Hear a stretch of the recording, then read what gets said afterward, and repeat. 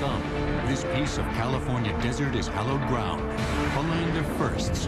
America's first jet plane, first rocket plane, first flying wing, and first space shuttle landing.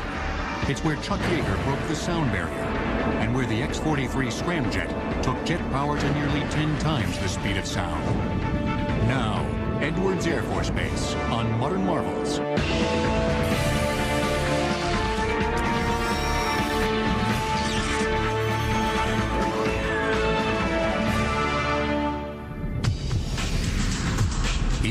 Space, the huge dry lake at Edwards Air Force Base can be a comforting sight.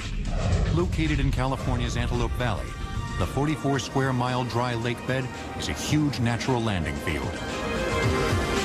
It's obvious uh, when you're over this area, the, uh, the lake bed's uh, seven miles wide and 15 miles long, and it's uh, bright, light, tan that stands out, uh, so there's no missing it from orbit. Test pilot and former astronaut Gordon Fullerton piloted the space shuttle out of its orbit around the Earth to a safe landing in Edwards. Our uh, reentry started uh, over the Indian Ocean in the dark, and so uh, we were down much lower altitude when the sun came up as we were crossing the South Pacific. So the entry was mostly in daylight. Columbia, you got perfect energy, perfect ground track. Roger that. What a way to come to California. And then that uh, dry lake bed here at Edwards stood out. It's a terrific landmark for any aviator, and uh, we're right on course.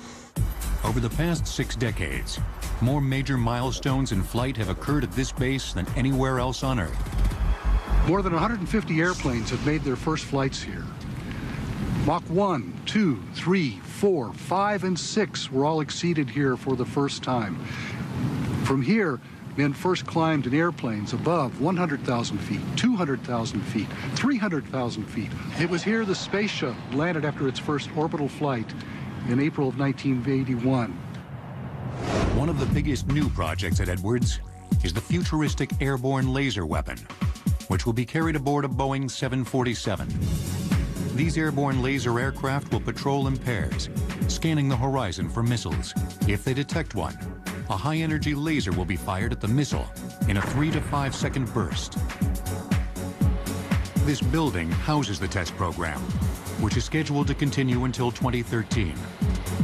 It's at the south end of Rogers Dry Lake. The airplane nose protruding from the building is not just for decoration.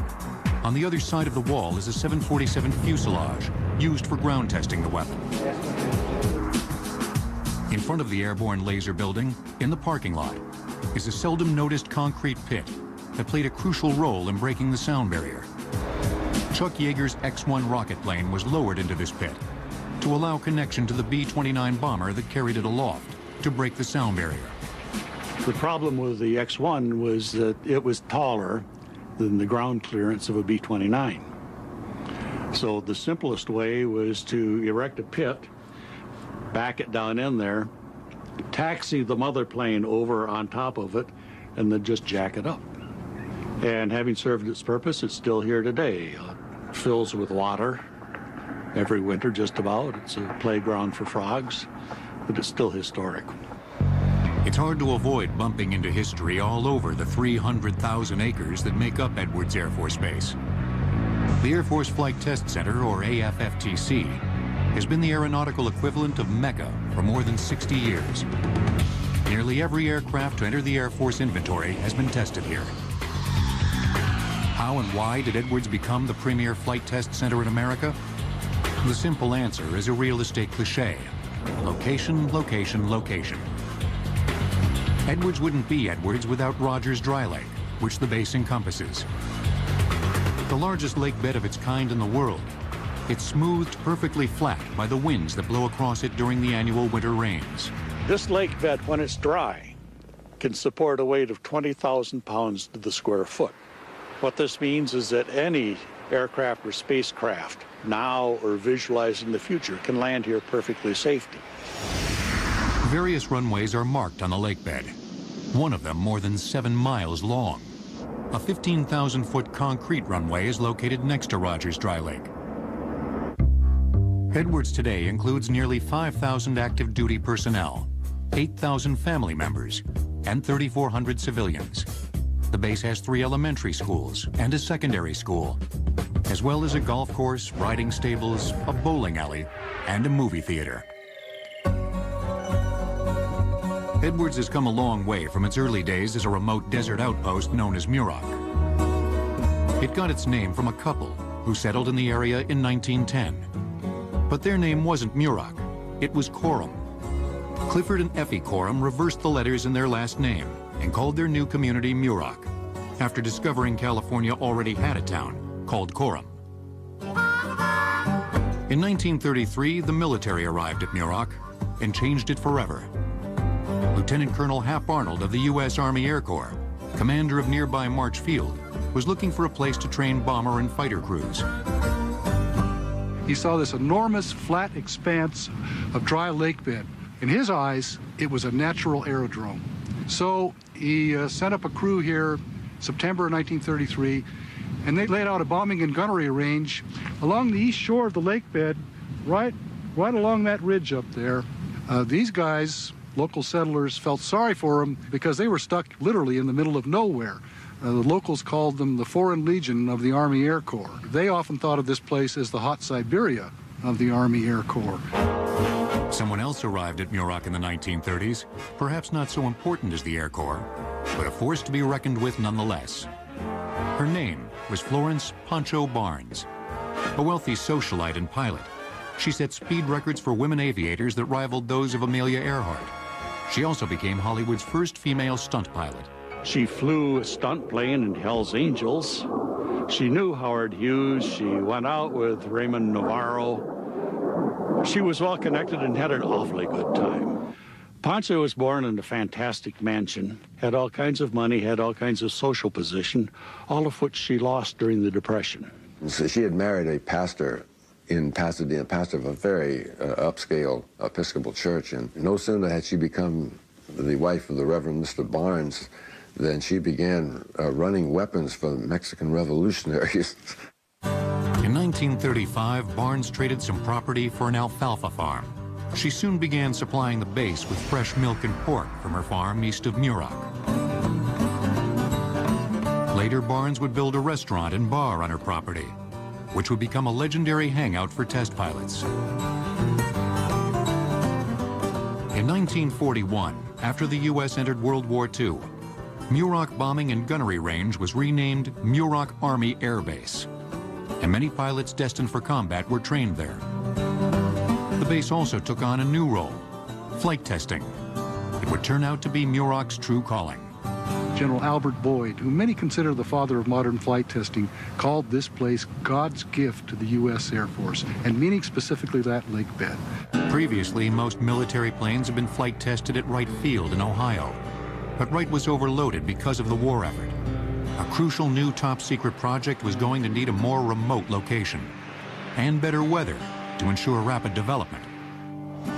At a remote spot on the north shore of Rogers Dry Lake, the Army Air Corps built a new test site for America's first jet plane, the Bell XP-59A Airacomet. It first flew in 1942, but it was kept secret even from the rest of the base. These were airplane people. They'd see an airplane sitting out here every day on the ramp, perhaps, with no prop, and they'd begin to ask questions. For that reason, they actually just built a small dummy prop that they uh, fixed to the nose of the P-59 whenever it was out here on the ramp. Now called North Base, the area is abandoned, surrounded by tumbleweed and visited by the occasional coyote. The hangar, as you can see, right on the edge of the lake bed, so that they could taxi the airplane right out and take off anytime they needed to, going almost any direction. The Bell Airacomet was soon followed by a second jet, the Lockheed XP-80 Shooting Star, which turned out to be a much more successful aircraft. In the words of Larry Bell of Bell Aircraft, it's nice to be first, but the money is in being second. A little-known maintenance officer from Wright Field uh, came out here for the first time, 19th September 1945, and he came out to uh, be part of the team that conducted the accelerated service tests on the new P-80 Shooting Star. His name was Captain Chuck Yeager. When Chuck Yeager first got here, he said the place looked like the ass end of the moon to him. Bob Hoover arrived at Muroc at around the same time, and he and Yeager soon began testing new Air Force planes at the base. You had the, the opportunity of safety up there because of that dry lake bed. And it saved my neck two or three times. Uh, on one occasion, I touched down at 240 knots. And the landing gear and wheels had never been up to that kind of speed before. And it was one of the smoothest landings I've ever ridden through. But I rode 11 miles across that lake bed. One of the most exciting eras in aviation history, the turbojet revolution, ushered in the golden age of flight testing and gave birth to an archetypal image, that of the dashing and daring test pilot. One of them, Chuck Yeager, was about to do what some considered impossible. Approximately 10,000 years ago, Lake Thompson, an Ice Age remnant, dried up. Rogers Dry Lake is part of its ancient lake bed. Edwards Air Force Base will return on Modern Marvels. We now return to Edwards Air Force Base on Modern Marvels. The turbojet revolution was the first of many revolutions at Muroc, each made possible or made necessary by its predecessor. After the turbojet revolution came the supersonic revolution. The rocket-powered Bell X-1 was the first in a long series of research airplanes designed to explore the unknown frontier beyond the speed of sound. There had been speculation about whether it was even possible for an airplane to break the so-called sound barrier. Some scientists warned that G-forces might become infinite at the speed of sound and destroy the aircraft. The rocket engine that would propel the X-1 was also full of unknowns. When the X-1 program came along, rocket motors were, of course, a very new idea. A lot of unknown quantities, and they tended to blow up occasionally. So what was needed was a secluded area where you could test the engines and monitor them. What could be better than one of the revetments? Adobe structures called revetments were built in the mid-40s at the airbase as experimental field shelters for aircraft. The X-1 rocket engine was tested at this one, on the south side of Rogers Dry Lake. We're standing right now in the middle of the rocket engine test stand, which was built in the middle of this B-29 revetment. Over here you can see the blockhouse. It's a very simple affair with a thick armored glass window. In here, the project engineers, a couple of scientists, managers would be standing protected, watching the rocket motor run. The rocket engine would have been suspended about where I'm standing, with the head end of the rocket pointed toward the adobe wall, and the nozzle end pointed out this way so that the rocket blast would roll harmlessly out across the desert and into the lake bed. Beginning with the X-1 project, most purely experimental research at the base would be conducted jointly by two government agencies, one military and the other civilian. It's always thought of as an Air Force base, and indeed it is, but it also has had a, another component. Uh, it had a group from the National Advisory Committee for Aeronautics, or the NACA. The uh, small group of six arrived here in September 1946. And they came out because uh, of the famous X-1 program. Decades later, the NACA changed its name. We know it today as NASA. But whatever the project that the airplane was designed for, it would be first flown by the Air Force, who would test it, make sure it was safe, and they would fly the airplane out to the limits of its performance. And then it would be turned over to NACA, which was located right here at Edwards Air Force Base. In the 1950s, most record-breaking flights were celebrated at the bar and restaurant built by Pancho Barnes on her farm near the base. Barnes also had a fly-in motel with its own airstrip. Pancho Barnes Flying In, that was the official name of it. Um, this was a bar out in the desert, so weather-beaten, so run down, uh, such a mess that no one making a movie about it would have dared make anything as dilapidated. Where we're standing was the heart of the motel area. Pancho had built two rows of cabins here on the concrete, and a number of the young pilots volunteered their time and effort and built the famous three-tiered fountain in the center of the courtyard of the motel. And you'll notice that the pool there, which they also built, outlines the U.S. Air Force insignia. Beyond there, where the chimney is, was the restaurant, the bar, the dance floor, and Pancho's house was just beyond. Over beers at Pancho's, civilian test pilots and Air Force test pilots frequently disagreed. Civilian test pilots didn't have much to do with the, the military test pilots. And I remember one fellow by the name of Gene May, who was with Douglas, and he asked me about how much flying time I had, and I said, 1,500 hours in fighters. And he said, well, I've got 10,000. I think I'm more qualified than you Air Force youngsters. And I said, well, Mr. May, I said, 10,000 hours of cub time doesn't mean very much when you're flying a rocket ship or a jet. Pancho got a big kick out of that. So she said, whoever goes faster than sound first will get a free steak dinner on the house. On October 14, 1947, Chuck Yeager in the X-1, with Bob Hoover flying behind in a chase plane, first proved that the mysterious and feared sound barrier wasn't really a barrier at all. I got a picture of him at, as he went by. It was the first time we had a photograph of the diamond shock waves coming out the, from the exhaust of the rocket motors. I knew he had accomplished his mission. So on the way down, I said, uh, Part, I think you're going to get that free steak dinner tonight.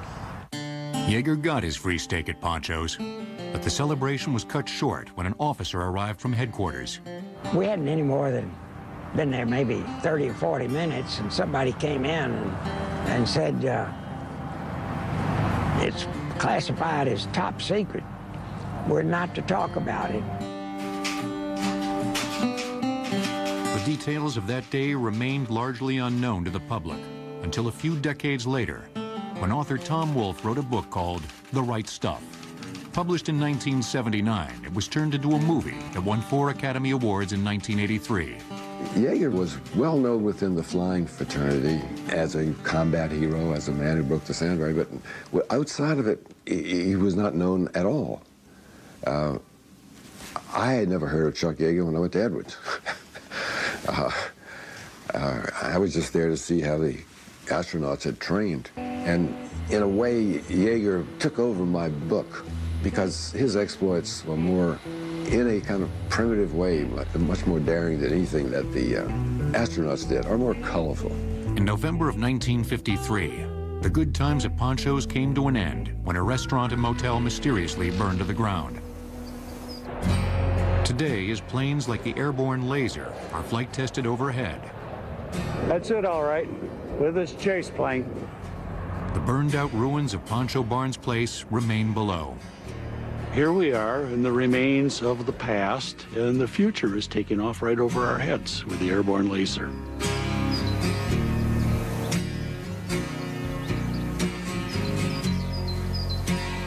Good times and bad times populate the past at Edwards, and some of its memories are buried in its soil. Peter Merlin is hunting for history. This is the crash site of the YB-49 Flying Wing. They were testing control forces and apparently overstressed the airframe. Broke off the outer wing panels and the plane crashed right behind us. An aviation researcher who does historical archiving at Edwards, Merlin calls his hobby aviation archaeology. Some say the revolutionary YB-49 flying wing bomber that crashed here was too far ahead of its time. This piece here uh, is part of a hinge line with some structure and skin of the aircraft. It's a good sized piece.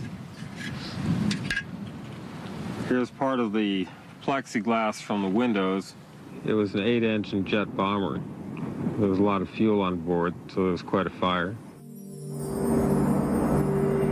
Without the computer-controlled flight systems of today's modern fighters and bombers, the flying wing had limited stability and was difficult to control.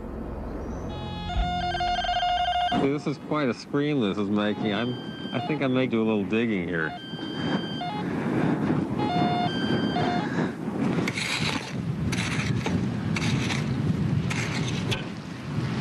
I got a piece of rusty steel. There's a bolt through it and a nut. It's very corroded, but heavy.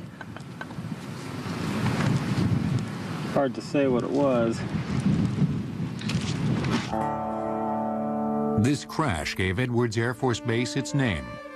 Captain Glenn Edwards and four other men were killed in the mishap, and a year later, in December 1949, Muroc Air Force Base was renamed Edwards Air Force Base in honor of Captain Edwards.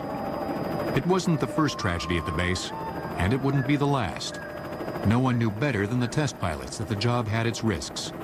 But in spite of the dangers and setbacks, a golden age of aeronautical research would come to Edwards Air Force Base in the 1950s. Experimental rocket planes continued to raise the bar for speed and altitude. Chuck Yeager set a new record in 1953 as he piloted the second generation Bell X-1A to a speed of Mach 2.44, or 1,650 miles per hour. Yeager's record was broken less than three years later when Captain Mel Apt in the Bell X-2 became the first man to fly faster than Mach 3. For about a minute and a half, he was the fastest man in the world. At that point, he tried to slow down and turn back toward the lake bed to glide in and make his landing there, just like the X-1. Seconds after hitting Mach 3.2, the X-2 rocket plane tumbled violently out of control and crashed in the desert near the base. It crashed over here at the lip of the Sandy Wash and broke into several pieces. The engine section was right over here, the mid-fuselage assembly and wings, and the forward fuselage lay over there. We got a piece of the skin of the airplane. You can see it's still got the white paint on it. To continue developing faster and safer military aircraft, Edwards flight researchers would need to process reams of complex data from test flights. Without computers, Edwards would have to find a unique solution. In May of 1953, in a flight that began at Edwards, civilian pilot Jacqueline Cochran became the first woman to exceed the speed of sound. Her chase pilot was Chuck Yeager. Edwards Air Force Base will... We now return to Edwards Air Force Base on Modern Marvels. Of flight testing at Edwards, some of the most difficult work involved the detailed analysis of complex flight data. In 1952, Betty Love joined a team of women called computers who booted up and crunched the numbers every day.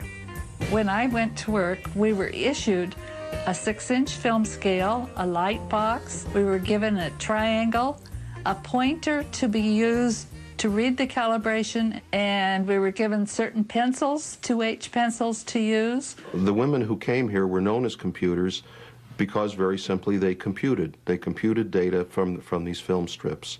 And it was quite an art. It was done uh, in an office here in, uh, in which uh, silence was golden, uh, noise wasn't, conversation was not tolerated. Flight information was recorded aboard test planes on rolls of film.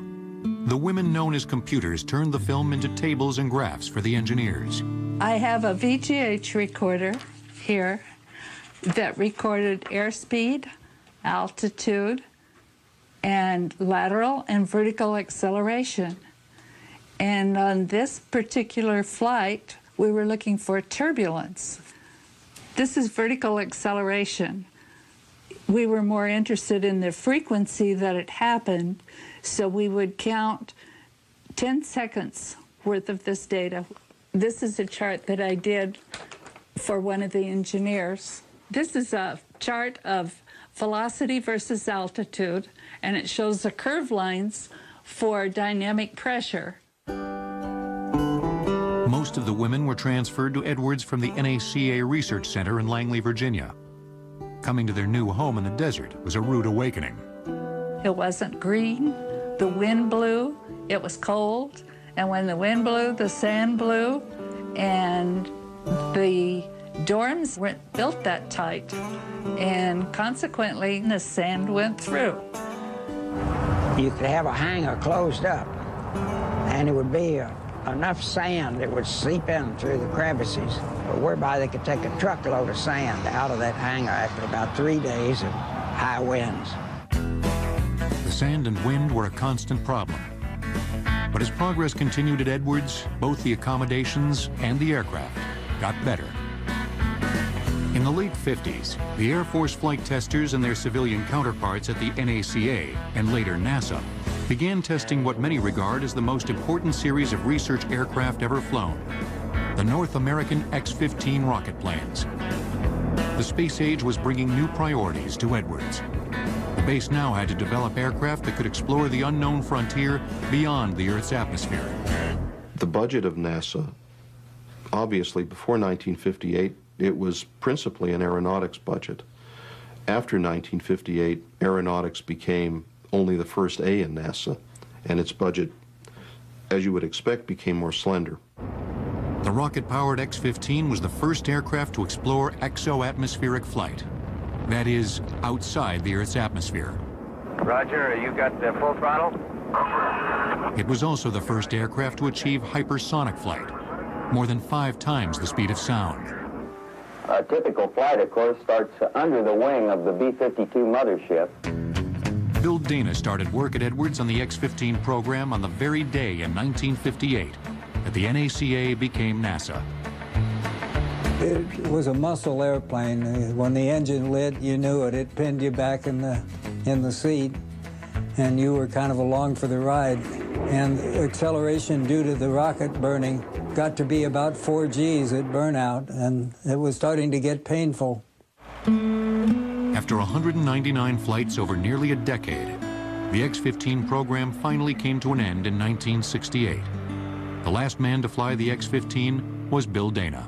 We didn't go to orbit, but we went to Mach 6, which gave us heating and stability information that allowed us to build the space shuttle.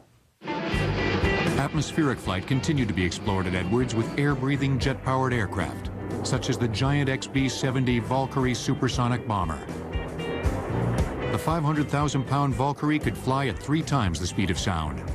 Well, it was a good flying airplane. It was an airplane that uh, you certainly wanted to be well prepared for any emergency. You only had two crew members in the B-70, and so uh, you had to, you your own flight engineer, you might say, so you had to run all the systems. The huge and exotic Valkyrie could droop its wingtips as much as 65 degrees during flight, which provided improved stability at supersonic speeds. You don't have any great realization of speed except that you know if you if you turn over the Canadian border and you'll be back to Edwards in 30 minutes, you, you know that's fast. It was conceived as a high-altitude bomber, but only two Valkyries were built because of budget limitations. One of the XB-70s was lost in a fatal mid-air collision in 1966 during a promotional photo shoot. The pilot managed to eject and land safely, but the co-pilot was killed, along with a pilot of the F-104 chase plane that collided with the Valkyrie. The cause of them running together may not ever be really known. Either Carl Cross, who did not get out of the airplane, was unable to pull the handle to eject himself, or else he was incapacitated due to the G-forces the airplane spinning.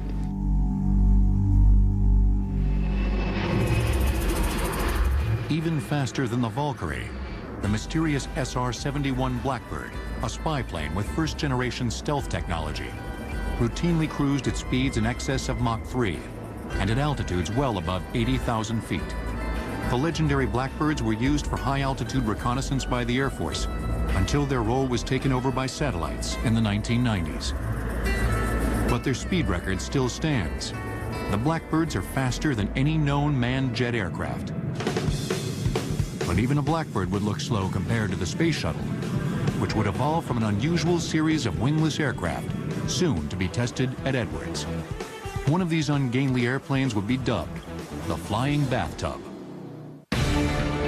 In a single stop, the brakes of the XB-70 Valkyrie absorb the kinetic energy it takes to stop 800 automobiles from a speed of 100 miles per hour. Edwards Air Force Base will return on Modern... We now return to Edwards Air Force Base on Modern Marvels. Of strange-looking aircraft began to streak through the skies above Edwards in the mid-60s. They were called heavyweight lifting bodies and helped pave the way for the space shuttle. These wingless aircraft relied on the fuselage alone to create lift. I went straight from the cockpit of the X-15 to the to the HL-10, which was one of four heavyweight lifting bodies that NASA and the Air Force tested. They flew a lot better than they looked like they should. The lifting bodies proved that the shuttle would not need onboard jet engines to land, and in fact could land dead stick, that is, without power. NASA had originally planned to have as many as four jet engines on board the shuttle. Ten, two, one, touchdown. They took the jet engines out of the uh, space shuttle, and that resulted in a, uh, a savings of a million pounds of launch takeoff weight. In the early 70s, a new technological revolution would transform flight testing at Edwards. It was the systems revolution, and it was brought on by advancements in avionics. The word avionics, a contraction of aviation and electronics, was coined to describe electronic systems used in aircraft. Progress in avionics would allow the development of so-called fly-by-wire flight control systems at Edwards, which used computers to replace conventional mechanical controls. In the late 1970s, at a secret location, the Edwards Flight Test Center was leading the way in yet another revolution. It was the stealth revolution. An Edwards test pilot and a pair of flight test engineers were testing Lockheed's Low Observable Technology Demonstrator, codenamed Have Blue. The test program conducted jointly by the Edwards Flight Test Center and Lockheed soon led to a new attack aircraft, the F-117A Nighthawk also known as the stealth fighter.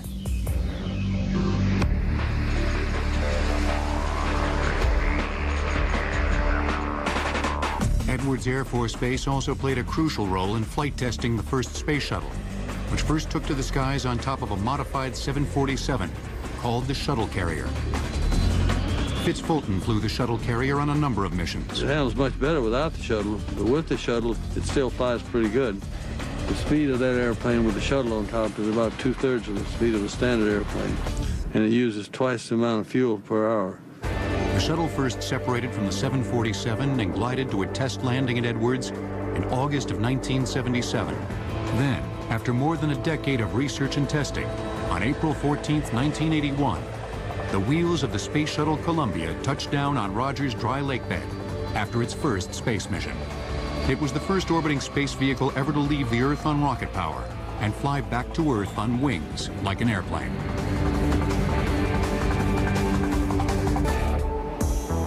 In the 1980s, as the complexity of avionics increased rapidly, new systems were needed to handle huge amounts of experimental flight data. New facilities were created at Edwards to allow more testing of software-intensive aircraft systems on the ground. One of them was the Modeling and Simulation Facility, located on the west side of Rogers Dry Lake. What we do here in the Modeling and Simulation Facility is we want to um, basically test the scenario before we actually go fly. So early in the development program, we'll get our engineers involved with the development of a system. They'll learn as much as they can about it, and they'll bring that information to the, facility like this to actually uh, fly an airplane in a realistic environment, but a, a model and simulation environment, but as realistic as we can nevertheless. The system can be configured to emulate any aircraft, including planes that haven't even been built yet. The next level of ground testing at Edwards is called hardware-in-the-loop testing.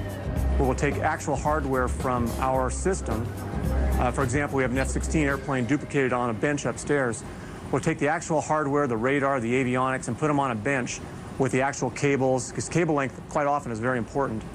And we will replicate flying that airplane on the ground uh, using the actual hardware. And over here we have some of the avionics computers uh, that go on board the F-16. We've got the general avionics computer that is uh, one of the main computers for the actual avionics on board the aircraft. It's also connected to the fire control radar uh, that is one of the main computers for the actual fire control radar, the F-16 radar.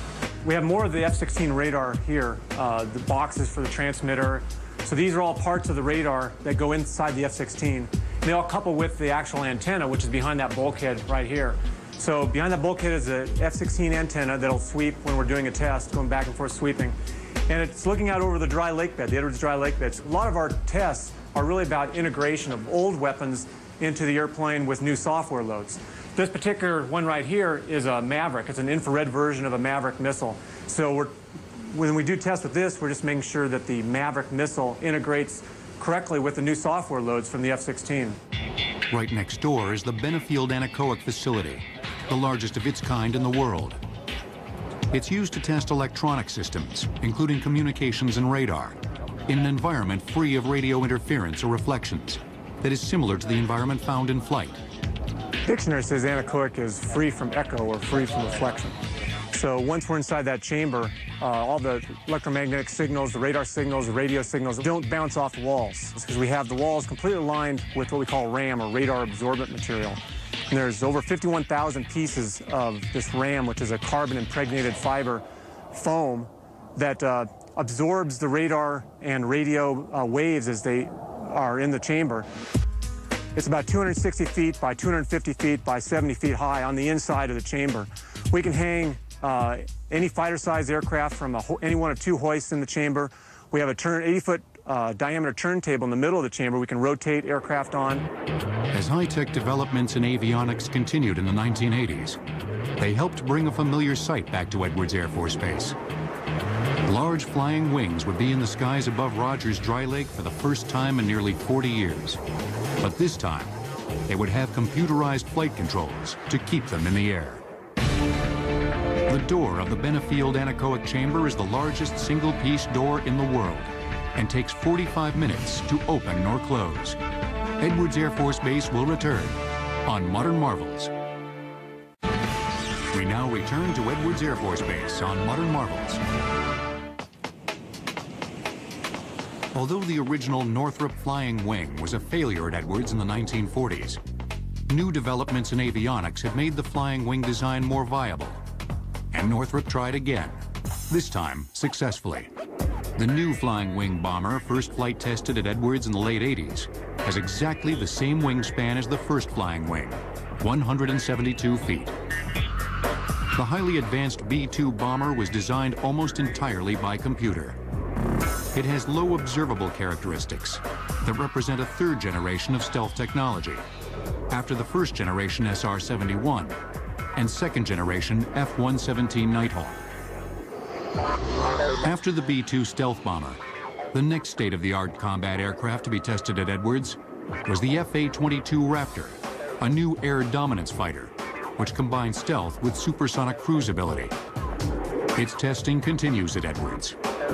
It is the greatest fighter plane ever, and I didn't start to realize exactly how much capability that went into it until I started understanding some of the technical issues. Uh, there's nothing on the Raptor that's there by accident, whether it was for radar reflections or whether it was for heat signature or, you know, what it was for top speed or loads or, you know, all the different shapes serve a purpose. I, I think right now any fighter pilot that's flying any other aircraft out there would, you know, be lying if he said he didn't want to fly it at least once and after they fly it once, they'll be hooked. It's an awesome aircraft to fly. In the northeast corner of Edwards Air Force Base is a large complex of rocket test stands, where more reliable, more economical, and more powerful rocket engines are being developed for future space missions and for military applications.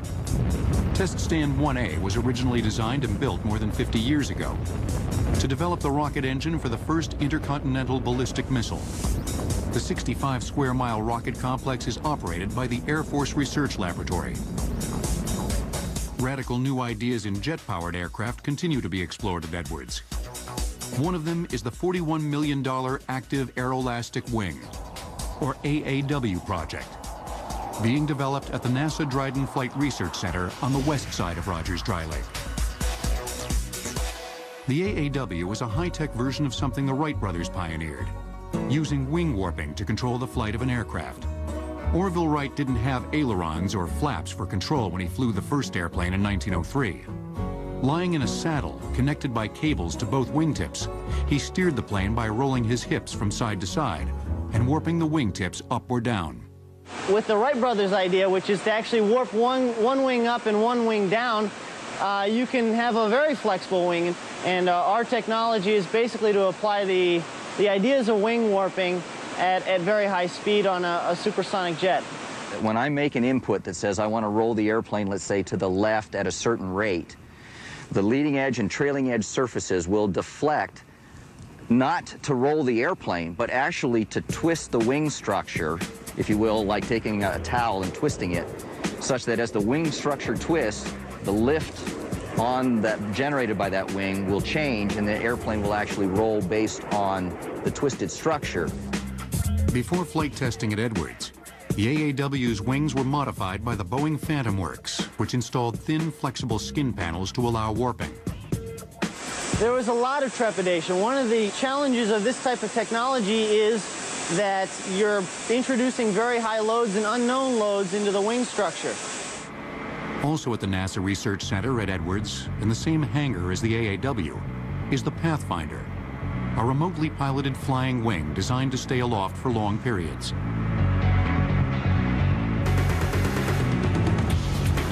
With its solar power and 120-foot wingspan, it could conceivably stay in the air for weeks or even months at a time. A true flying wing design, the Pathfinder maneuvers without rudders, ailerons, or tail surfaces. Fittingly, it's being tested at the home of the flying wing, Edwards Air Force Base. What goes around, comes around.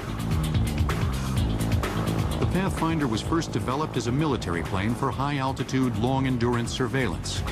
In the early 80s, it was originally developed under a classified program, and so nobody heard about it until about 1992, 1993. The military program was later canceled, and now the NASA Research Center at Edwards is exploring the Pathfinder's potential for non-military uses.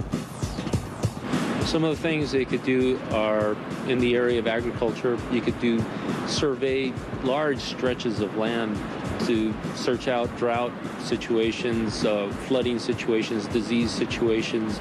We can be used for forest fire detection, brush fire detection. You can do it for border patrol, pipeline patrol. We like the idea of calling this like a poor man's satellite. As new recruits get their wings at Edwards, old-timers are retired. In 2004, one of Edwards' most distinguished veterans, this B-52 that once carried the X-15 aloft, took off on its final flight from Edwards. Test pilot and former astronaut Gordon Fullerton was at the controls as the mothership carried its latest fledgling, the X-43 scramjet, into the skies above Rogers Dry Lake. After release from the bomber known as 008, the unmanned scramjet flew faster than any air-breathing jet airplane has ever flown, nearly 10 times the speed of sound. I remember in college seeing 008 lifting the X-15 up on the news programs of the day. I came here in 1986 and uh, have flown it ever since until uh, a couple weeks ago when we did the final X-43 flight. As an Air Force test pilot, a NASA test pilot, and an astronaut, Gordon Fullerton has witnessed generations of revolutionary change at Edwards.